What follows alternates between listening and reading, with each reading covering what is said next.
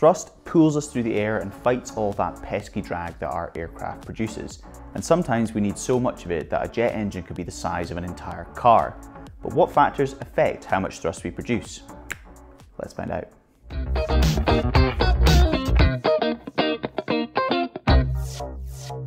Hi, I'm Grant and welcome to the fourth class in the Performance series. Thrust is necessary for flight but we don't want to use too much of it as this can cause a bit of unnecessary wear and tear on the engines. So we're going to take a look at all the external factors that affect how much thrust we produce, so that we know just the right amount to use for the situation we're in. The way a jet engine works is fairly simple. We use the engine to accelerate at massive air backwards, then the reaction force to this acceleration of air is an opposite and equal force that we call thrust. And we can accelerate a large mass of air and therefore generate a large thrust, either by accelerating a small amount of air a lot, or we can accelerate a large amount of air by a little bit. Most modern jets use the latter of these methods, that's why they have such large intakes. They want to take in as much air as possible and they impart an acceleration onto it to create this thrust. In military aircraft though, often we see a small intake with a larger acceleration so that the aircraft engines and general profile of the plane can be a lot smaller. There are certain things to consider when talking about the thrust output of the engines. The first we're going to look at is the forward speed. So as we start to travel faster, we start to lose thrust.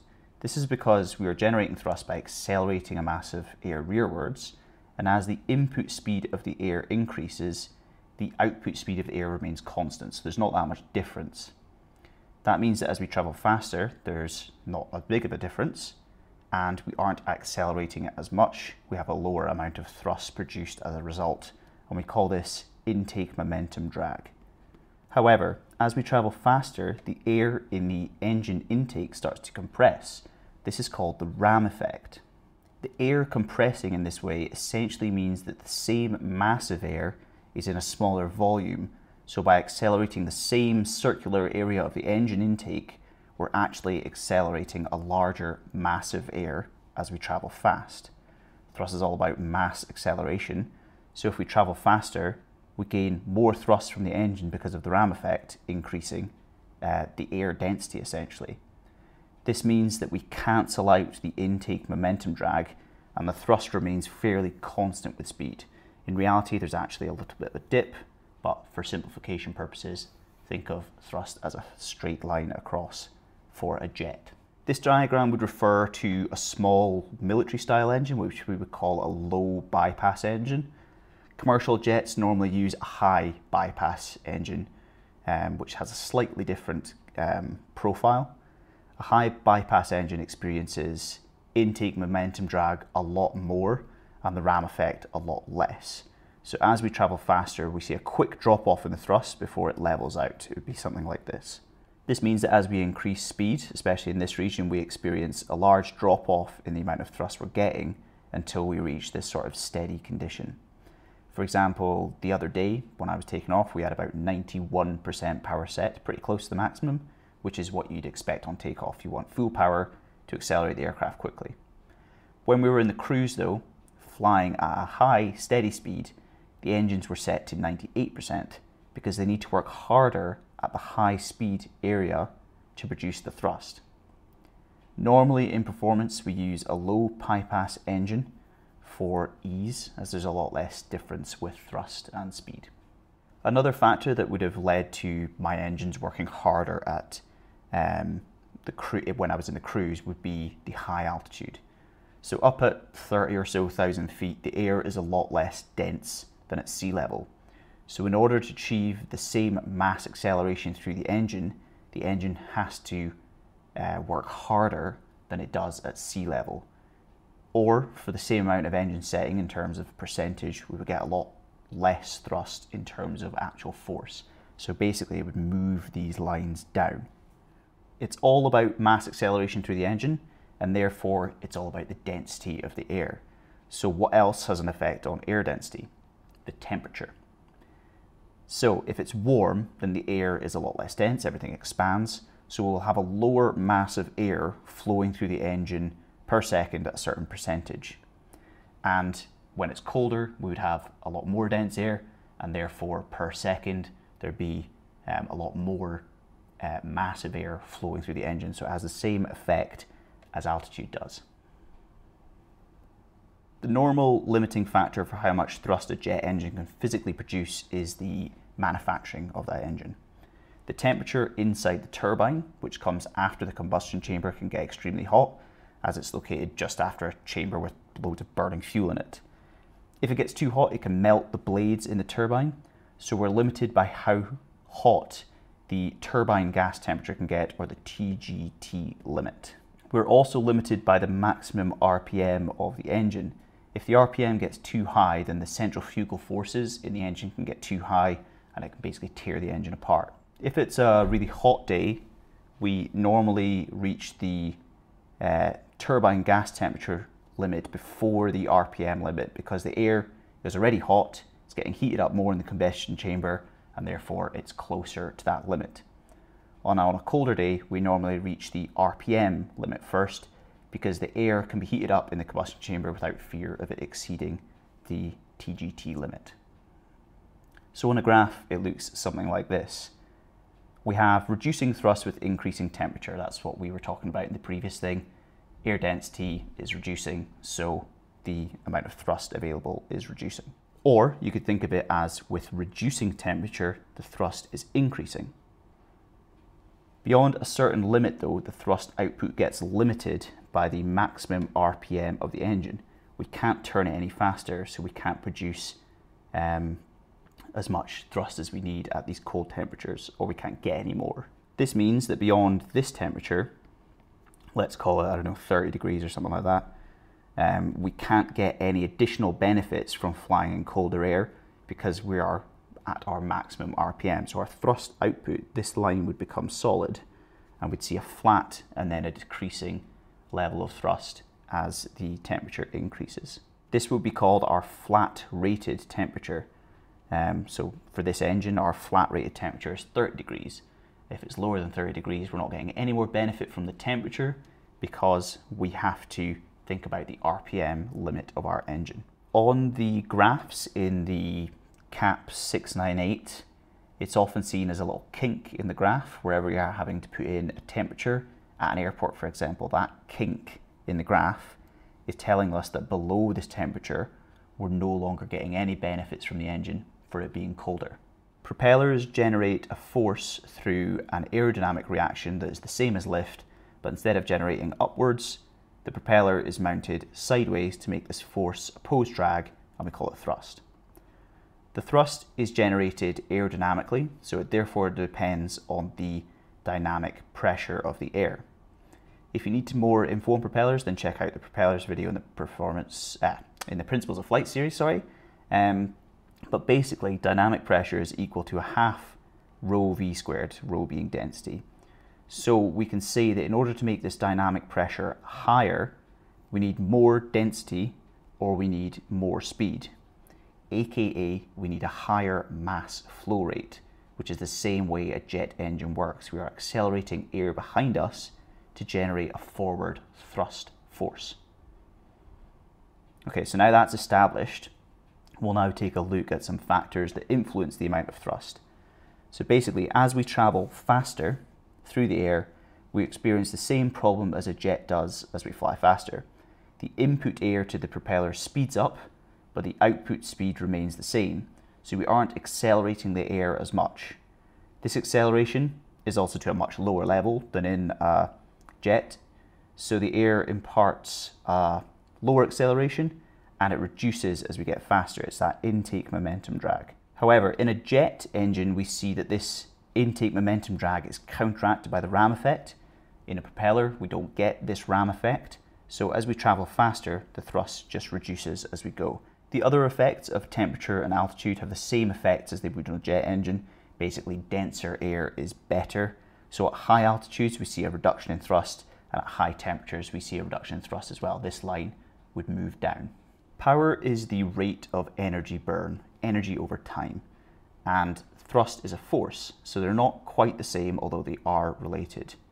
We can call energy a force multiplied by a distance, so we can make our equation for power and then we know that distance over time is the same as velocity. So we cancel these two out, make it velocity, and therefore power equals the force times the velocity or the speed, whatever you find easier to understand.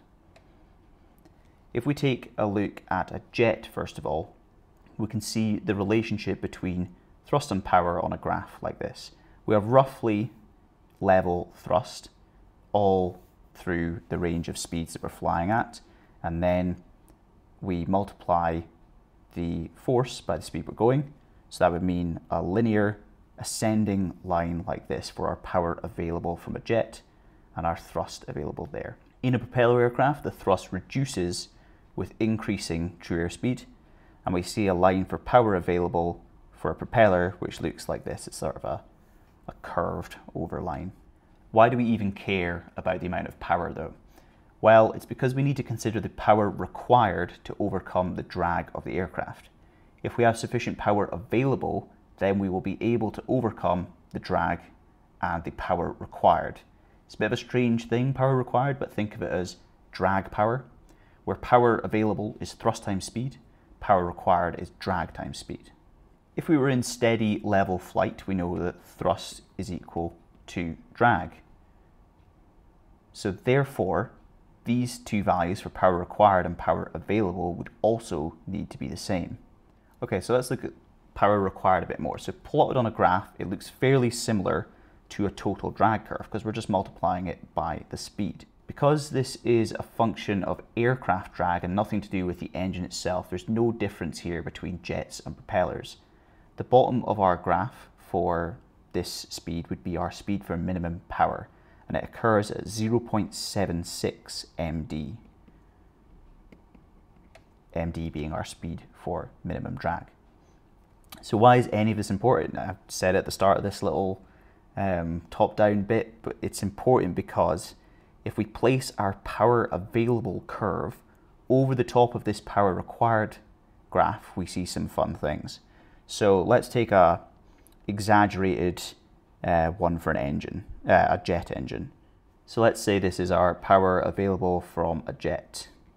We therefore see that we have sufficient power available to fly at all these speeds in this range here. But as soon as we go outside, we need more power here than we've actually got available on the jet engine. So we, we wouldn't be able to fly whatever speed that is equal to. So we have a flight envelope created by the amount of power available versus the power required. And say it was a really hot day and we have the same aircraft, we'd see that this line um, would be a bit shallower, something like that maybe, on a hot day. Then instead of having this full range of speeds here, we're now only able to fly in this little range of speeds in here because we don't have sufficient power available. So that was a quick overview of thrust. Um, obviously the way that thrust is generated depends on the engine. Engines are a lot more complicated than I've just made out here. Um, I've not done any videos on engines yet, but something we'll get to in the future. But it's basically all about mass flow acceleration to generate thrust.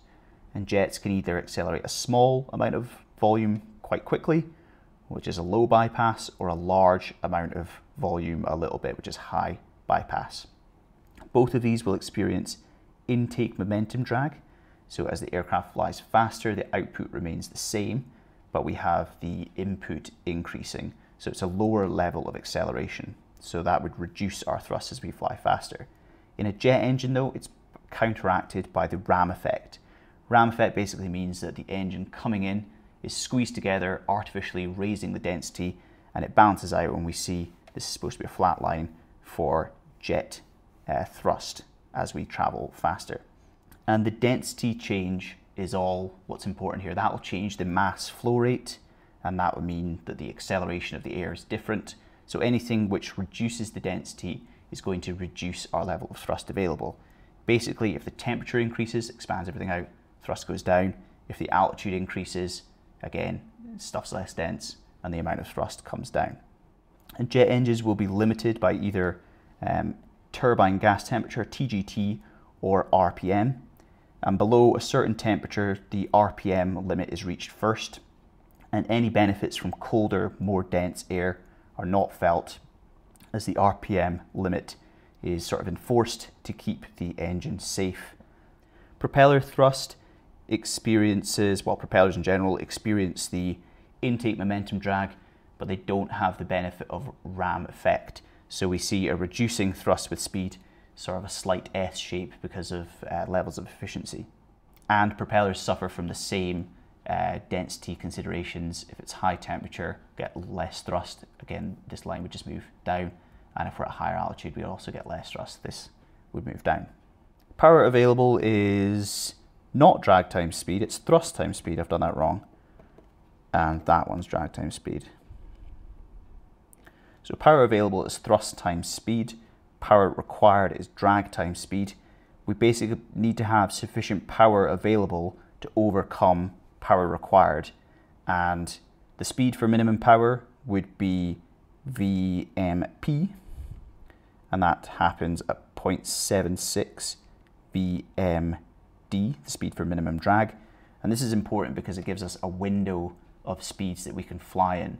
And if we have less thrust available, it manipulates our power available line and that means our power required line stays the same and that means that our envelope, our area where we can actually fly reduces. So if we understand that, we can fly at safe speeds, we know what we're able to do. Whereas if we ignored it, we would maybe try and fly too fast or too slow and the aircraft wouldn't be able to perform.